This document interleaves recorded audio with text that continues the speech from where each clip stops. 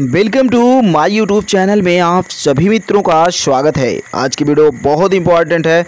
Bank सखी के नए बैच की हुई शुरुआत।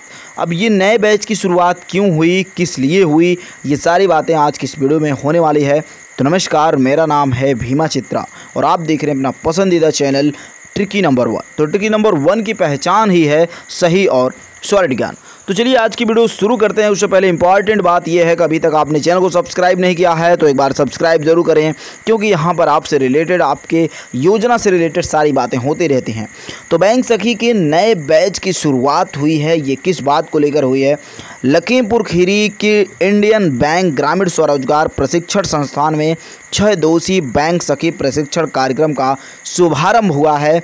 जिसमें एलडीएम अजय कुमार पांडे ने दीप जलाकर किया। आपको बता दें कि बैंक सखी प्रशिक्षण में फूल बेडोल, यानी कि बांके गेंज और साथ में बता दें बहजम योम, रमिया बेहड़ के कुल बत्तीस जो प्रशिक्षार्थी थे, यानी कि जो प्रशिक्षण करता करता थे, प्रशिक्षणकारी थे, उनको पंजीकृत किया गया है।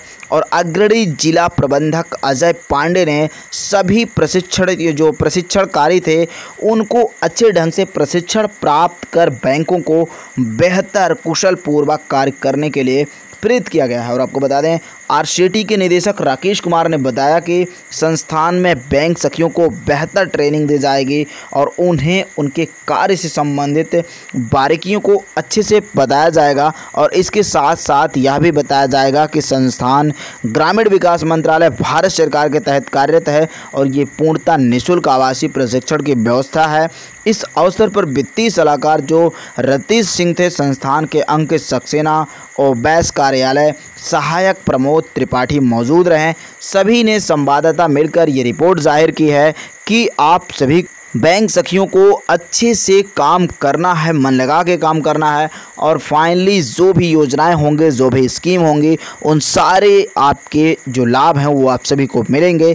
लेकिन इसके लिए यहाँ पर पॉइंट वाली बात यह है कि मानदेय सिक्स मंथ है तो क्या वो ओनली एवरी वन जितने भी विशेषज्ञ हैं, सभी को हमेशा मिलेगा। तो इस बात को लेकर संशय बना हुआ है, बातें छिड़ी हुई हैं। बस एक ही काम है, सरकार को मुहर लगाना है। जैसे ही आदेश करेगी सरकार, आपको फाइनली परमानेंट वेतन मिलने लगेगा। उसके लिए आपको धैर्य बनाए रखने की ज़रूरत है, क्योंकि बातें आपकी हो चुकी हैं, बातें आपकी चल रही हैं। और देखने वाली बात यह है कि ये प्रक्रिया कब तक चलती है, ये तो सब्र की बाण की परीक्षा है। तो आपको इस परीक्षा को सफल बनाना है और सब्र का बाण रखना है और अपना जो भी आप करते हैं, उसको करना है। छोटा मोटा कमीशन आपको मिलता होगा तो उसी से आपको काम चलाना है और पेमेंट जो भी होगा, जब भी लागू होगा, आपको सबसे पहले इसी चैनल पर सूचना दी जाएगी। आज मैं पूरे दावे के साथ, पूरे विश्वास के साथ आपको विश्वास दिलाता हूँ। तो फ़िलहाल अगर आप सही जानकारी चाहते हैं तो आप चैनल को सब्सक्राइब करके हमारे साथ जुड़े रहें ताकि आप पूरी जानकारी जब भी आए, जो भी आए आदेश, वो जान पाएँ। ऐसे आपको झूठी तसल्ली देने का मेरा कोई उद्देश्य नहीं है। तो फ़िलहाल आज के इतना ही। मिलते हैं कल की वीडियो में। नमस्कार। जय हिंद। वंदे मातरम।